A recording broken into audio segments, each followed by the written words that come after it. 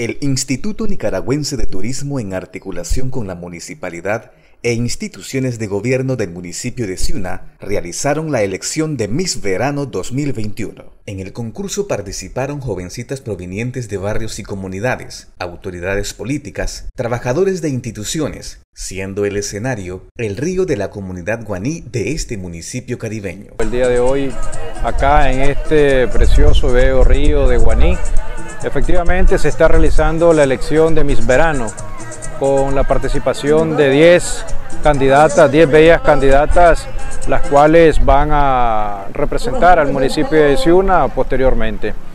Eh, el día de hoy todas las instituciones del buen gobierno están acá presentes, además de eso están también eh, compañeros y hermanos de las diferentes comunidades apoyando a cada una de sus candidatas el día de hoy. Hay hermanos de Las Quebradas, de Coperna, del sector del hormiguero, del mismo Guaní y efectivamente todas las instituciones del buen gobierno contribuyendo con alegría, con paz junto a la familia a disfrutar de esta tarde cultural acá en Río Guané.